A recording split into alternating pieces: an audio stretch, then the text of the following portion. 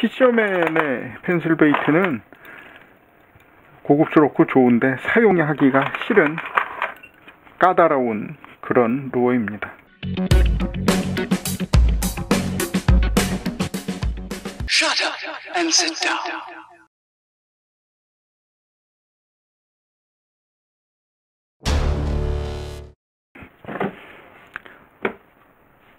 동해 오랜만에 동해안 왕돌로 부시리 낚시 가려고 지금 준비 중에 있습니다. 일단 지그는 요 정도 준비했고 200g에서부터 GL 공방의 LV2예요. 요거는 거터 지그 똑같이 GL 공방에 130g짜리 160 요것도 한 200일 거예요. 자 메인이 캐스팅이니까 일단 요 박스에 피셔맨의 pencil bait diving pencil이 잔뜩 들어 있습니다. 이게 거의 다 GT용이라 커다란 부시리용으로 쓸만한 게 몇 개 안 됩니다. 요거 일단 델타 10의 90 사이즈 아 사이드 미러 둘 다 핑크네 꽁치도 하나 가져갈까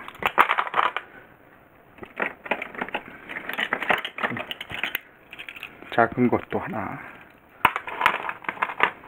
요 정도? 4개 정도만 휘셔맨은 이게 휘셔맨의 펜슬 베이트는 고급스럽고 좋은데 사용하기가 싫은 까다로운 그런 루어입니다.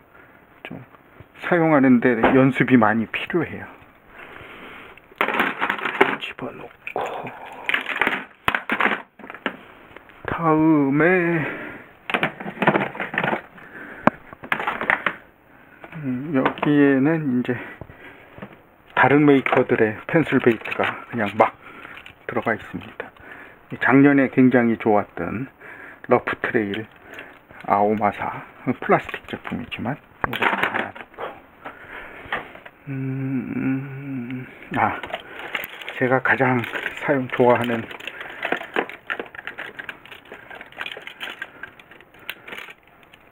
르그랑 탕고 큰 사이즈는 GT에 쓰고 요 사이즈는 부실에 쓰는데 작년에 이걸로 또한 어, 가고도에서 몇 마리 잡았죠. 신기하게 완전히 단면이 직사각형이라 플래싱 효과는 좋은데 이것도 사용하기가 참 까다로운 루어입니다. 그냥 단순히 이렇게 쭉쭉 당겨서는 절대로 움직이지 않고요. 손목을 이용해 가지고 twitching을 넣지 않으면 안 움직여요. 그 다음에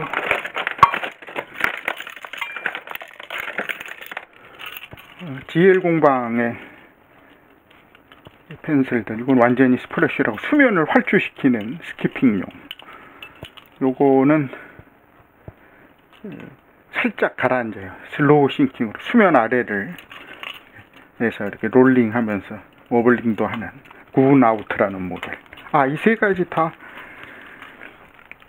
어, 발포 수지제입니다. wood가 아니고.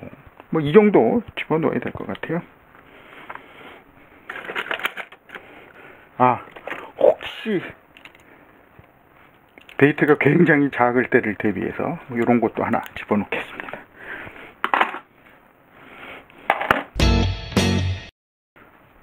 릴은 딜은 뭐 주로 스텔라 14,000번 XG를 개조한 거예요. 속에는 HG 기아가 들어있는 거.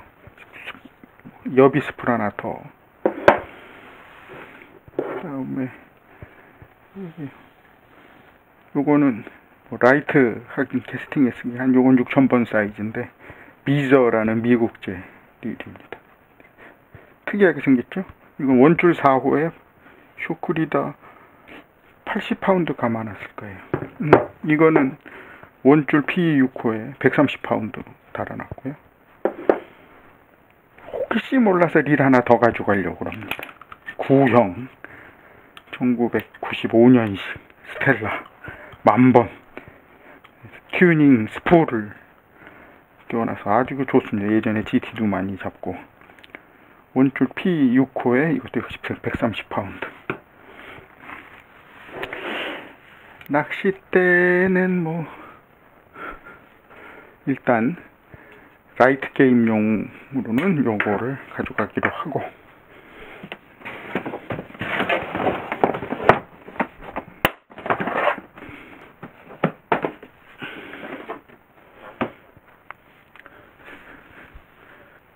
main rod로는 Fisherman 3 piece 낚싯대를 써야겠어요. 그리고 갈로아 캐스팅 753T 3 piece입니다.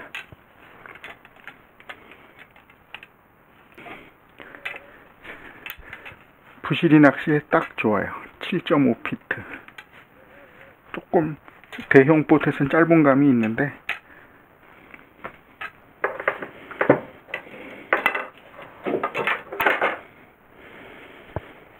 아, 캐스팅 장비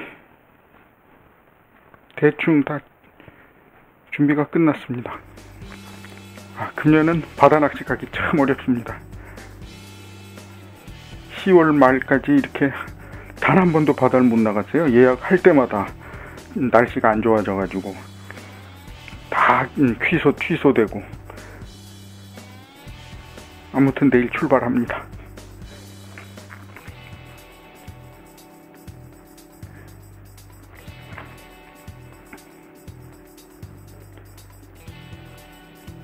날씨가 참 좋았으면 좋겠습니다. 오랜만에 동해바다 왕돌초까지 부시리 낚시를 가는데 동해용왕님께서 좀 저를 좀 받아주셨으면 하는 바람이 있습니다.